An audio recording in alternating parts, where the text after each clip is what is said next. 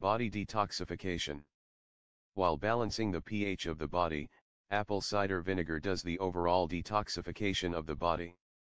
Studies have shown that consuming apple cider vinegar helps in improving the cardiovascular circulation and detoxifying the liver. How to use? Sip some vinegar few times a day. 2. Maintains body pH. Apple cider vinegar helps to maintain healthy pH levels in the body. High level of acidity in the body leads to higher risk of infections. Apple cider vinegar helps to lower the acidity level. How to use? Mix 2 teaspoon of apple cider vinegar in 1 glass of water and drink it once or twice daily to boost your immune system. Subscribe us to know more health tips and home remedies.